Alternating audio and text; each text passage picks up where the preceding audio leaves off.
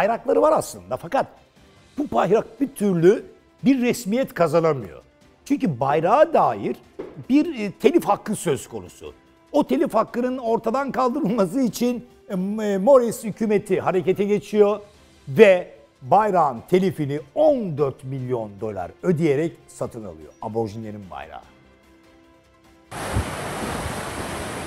Devlet bayrağı 14 milyon dolara satın alındı.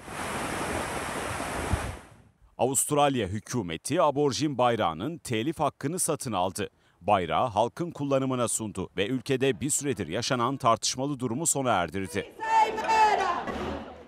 Başbakan Scott Morrison'ın hükümeti bayrağı 50 yıl önce tasarlayan sanatçı Harold Thomas'tan satın aldı.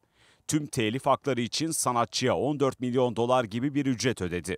Anlaşma sayesinde bayrağın artık izinsiz ve ücretsiz olarak giysiler, ticari ürünler, formalar veya sanat eserleri üzerinde yeniden kullanılabilecek.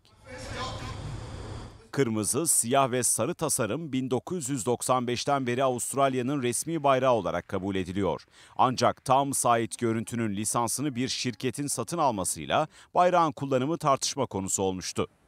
Firma bayrağı kullananlardan ödeme talep etmeye başlamıştı.